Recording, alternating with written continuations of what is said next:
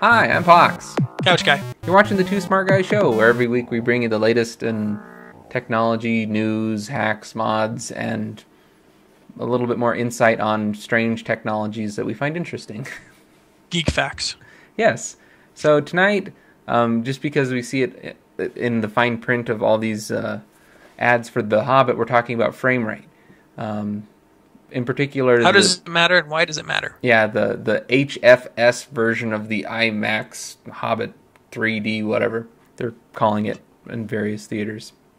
I love it. I love that. I love that they have to dumb. Well, they have to dumb it down, but they make it more confusing by dumbing it down. so, I guess the basis of this is, is how does frame rate affect your viewing experience, and why is it different? What makes this one different? And you may not even notice it.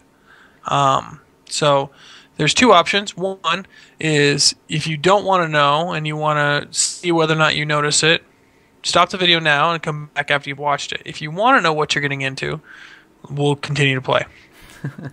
Yeah, so frame rate. If you don't, if people don't, if you don't already know what frame the frame rate is or frames per second, uh, if you're looking at the video of me, I'm running in 30 frames per second approximately, and Couch Guy's probably running about 15 frames or so, maybe less. Yeah. Depends on the, the bandwidth. Yeah. The lower the, the you know the lower the frame rate, the choppier I get. right. So traditionally, our movies that we've enjoyed have been shot in roughly 24 frames per second, which, as a flip book goes, you see 24 still images every second, which gives your eyes a perception of motion. Um, it's pretty remarkable um, the differences between you start changing that and how your brain perceives motion.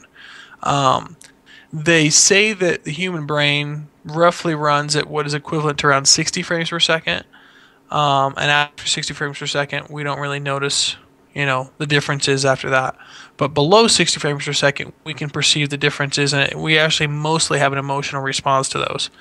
Um, if you have uh, someone who, if you ever want to know why your home videos or soap operas look different than movies and why they have a different feel to them, it's frame rate. Um, because they're traditionally shot in 30 frame, whereas films are shot in 24. And then there's also interlacing, but I, I think we covered that in a previous episode, which Yeah, we won't worry about interlacing because interlacing adds a whole nother layer of complication. It's easier to stay with frame rates anymore. So So the big controversy. Dun, Yeah, dun, so- dun. Peter Jackson claims, well, people kind of get sick when they watch 3D movies, and if you have a f- higher frame rate, then it won't. It, it'll the motion will be smoother. It'll be clearer. Supposedly, not as many people get as bad headaches. It should look better, crisper. The technology can do it. They can shoot it. They can project it. Let's do it. That's that's his stance. So in reality, he shot his film in 48 frames per second, doubling the frame rate, and would like to project it at 48 frames per second, um, thus creating a smoother motion of the higher frame rate.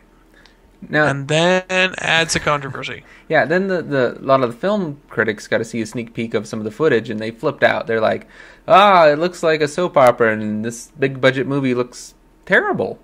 Um, Yeah. Basically, is what everybody said. I have to tell you that I find it very interesting as a side note that we in the video filmy you know area, you especially, have been you know trying to get towards a consistent 24 frame. Thirty. No, no, no, a consistent 24 frame Oh, yeah. acquisition camera Mm-hmm. for how many years? Because there have been, you know, I would be willing to bet you if you looked back three to five years in terms of YouTube videos and things like that, and looked up how to convert 30 frame to 24, you'll find hundreds of videos. And guess what? They've all stopped because most cameras anymore have a 24p function. Everybody got the cinematic look they wanted. And then Peter Jackson and James Cameron not necessarily in cahoots, but both have started doing this. Started shooting at 48 frames per second, which I think is really funny. like, okay, everybody can do it now. We need to do something unique, and it's true. It's it, I, I I believe this that they need to do something different in the cinemas to get people out there. Something you can't necessarily do I home. here is what I will say because I always say it for I say it for 3D, and I say it for a lot of things. It's gimmick. It's gimmick, gimmick, gimmick, gimmick, gimmick. Now there's You don't need it. It doesn't add to the story, and it only takes away from the user experience. 3D is that way, and I believe this will be that way. So one of the articles that I was reading is people. This this particular person was theorizing that this is like um, like black and white because the video gamers, the young people, they they see these really smooth, high resolution graphics in video games, and now the new movies.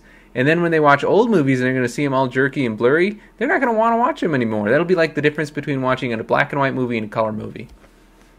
And there's still there's still people out there that still want things or you know prefer black and white. And they even came out with a new red camera that's just monotone. You know, I I don't know if it's quite that extreme.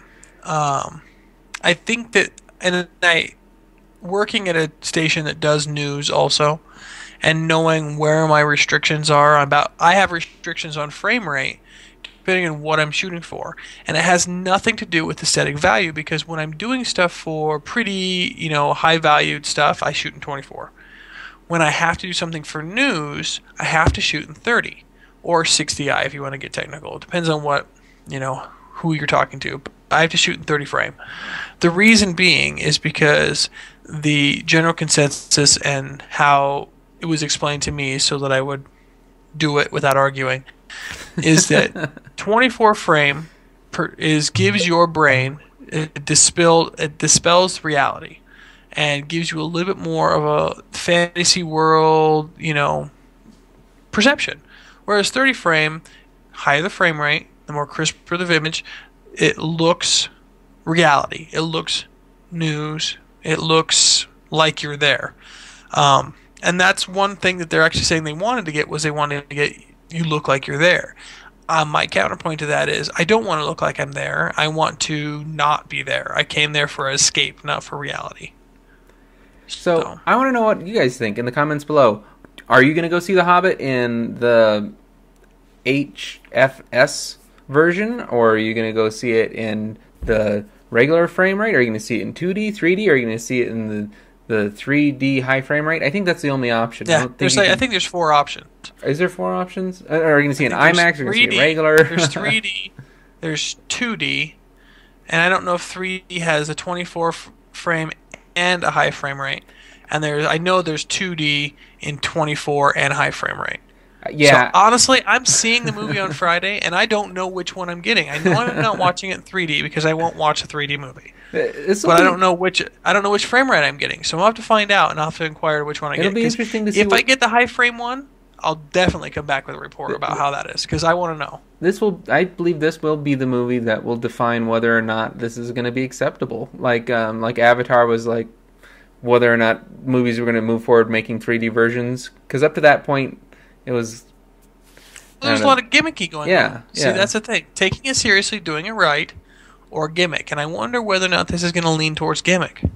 So, uh, some fun stuff that I just wanted to show off, and I, I, think I might have spliced them in a little bit earlier in the show just for fun.